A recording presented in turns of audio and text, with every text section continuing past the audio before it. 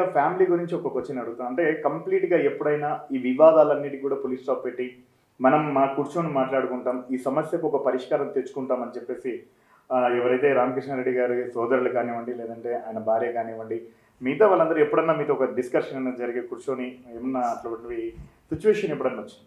లేదు యాక్చువల్గా మా బగ్గి చనిపోయినాక మా డాడీ ఇక్కడే ఉన్నారు. అసలు మామూలుగా ఎప్పుడైనా ఎప్పుడై నాకు తెలిసి ఇయర్లీ వన్స్ ఆర్ ట్వైస్ కూడా అవుకి రారు ఎప్పుడు రాలేదు. బగ్గి చనిపోయినాక ఒక వన్ వీక్ టెన్ డేస్ ఉన్నారు. ఉండి చెప్పారు ఎందుకు అంటే లైక్ మావయ్య గారే బగ్గీనే కదా అందరినీ చూసేది చూశారు సో పెద్దవాళ్ళు సో నీకు ఒక పెద్ద దిక్కుగా ఉంటారు అని చెప్పి ప్రతి ఒక్కరి ఇంటికి వెళ్ళి అడగడం జరిగింది. ఆ, ప్రాబ్లం ప్రాబ్లమ్ సాల్వ్ చేయడం ట్రై చేశారు బట్ ఎవరైతే పలకలేదు మాట్లాడలేదు అంటే ఓకే. చెల్లా రామకృష్ణారెడ్డి మరణం తర్వాత తనయునికి ఎమ్మెల్సీ ఇచ్చారు మీ భర్తకు భగీరథ రెడ్డికి. తర్వాత ఆయన మరణం తర్వాత చెల్లా శ్రీలక్ష్మికి జగనన్న ఎందుకు ఎమ్మెల్సీ పదవి ఇవ్వలేదు? రాజశేఖర రెడ్డి గారు సీఎం అవ్వకముందే వాళ్ళిద్దరు ఫ్రెండ్స్ తెలుసు ఆయన పొలిటికల్గా ఏంటి ఎట్లా ఉంటారు అంటే వాట్ ఈస్ ఇస్ కేపబిలిటీ ఎప్పుడైనా మావయ్య గారు ఎమ్మెల్సీ అవ్వడానికి కూడా బగ్గినే వెళ్ళి అడగడం కానీ ఏదైనా లైక్ ముందు టీడీపీలో ఉన్నారు మా టూ థౌజండ్ ఫోర్టీన్ నుంచి నైన్టీన్ వరకు టీడీపీలో ఉన్నారు. సో తర్వాత మాట్లాడింది కూడా బగ్గినే మాట్లాడడం అంత బగీ అంటే మొత్తం అంత గ్రౌండ్ వర్క్ అంతా చేస్తారు. సో ఫైనల్గా మావయ్య వస్తారు.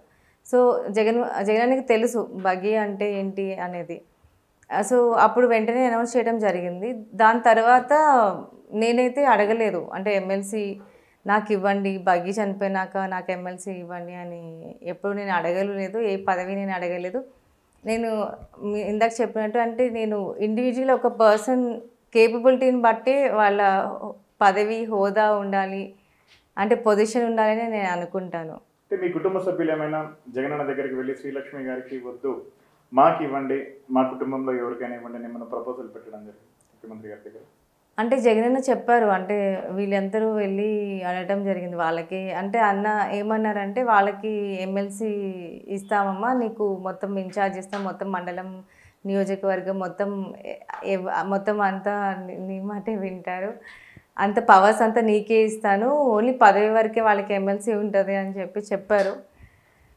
చెప్తే నేను ఫ్రాంక్గా చెప్పండి నేను అన్నాను లేదన్నా వాళ్ళకి ఇప్పుడు ఇప్పటికే నాకు ఇంత ప్రాబ్లం ఉంది. మీరు వాళ్ళు ఎమ్మెల్సీ అయితే కనుక నిజంగా అంటే ఇప్పుడు ఎమ్మెల్సీ వాళ్ళకి ఇచ్చి నాకు పవర్ ఇచ్చిన ఐ డోంట్ థింక్ లైక్ నేను సేఫ్ ఉంటాను నేను అనుకోవట్లేదు అని అన్నాను. బట్ అయినా కూడా డిస్కషన్స్ జరిగినాయి అని అనుకుంటున్నాను నేను. చెప్పడం అయితే అట్లా చెప్పారు నాకు. సో ప్రస్తుతం ఉన్నటువంటి పరిస్థితుల్లో చెల్లా శ్రీలక్ష్మి కా- పార్టీ టికెట్ రేస్లో ఉంది అనేటువంటి ఒక ప్రచారం జరుగుతుంది.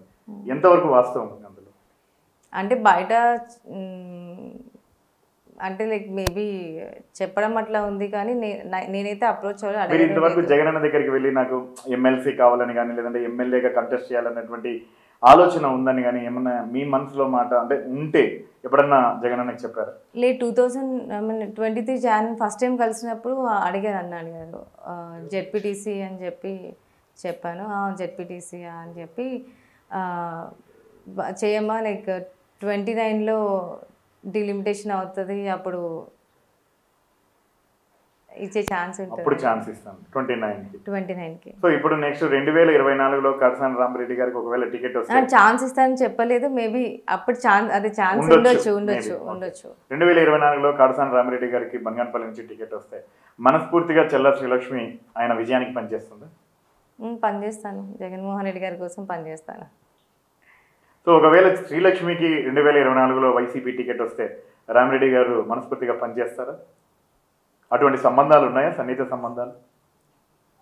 వస్తే అంటారా? ట్వంటీ ట్వంటీ ఫోర్ ఇప్పుడు ట్వంటీ ఫోర్లో వస్తేనా? ఇంకా డిస్కషన్ ఏం జరగలేదు. మేబీ అనుకుందాం. వస్తే ఒకవేళ. అంటే ఫైనల్గా మేము అందరం పార్టీ కోసమే పనిచేస్తాం కదా. ఇప్పుడు మీరు చూస్తూనే ఉన్నారు. అంటే లైక్ ఒక జెడ్పీటీసీని ఒక కార్యకర్తని తీసుకొచ్చి ఎమ్మెల్యేగా చెప్తున్నారు. అంటే ఎమ్మెల్యేగా జగన్ అనౌన్స్ చేస్తున్నారు. చేసినప్పుడు సో మనం ఫైనల్గా జగన్ ఎవరు చూసి నాకు తెలిసి జగన్ ఫోటో చూసే ఓటేస్తారు అనుకుంటున్నాను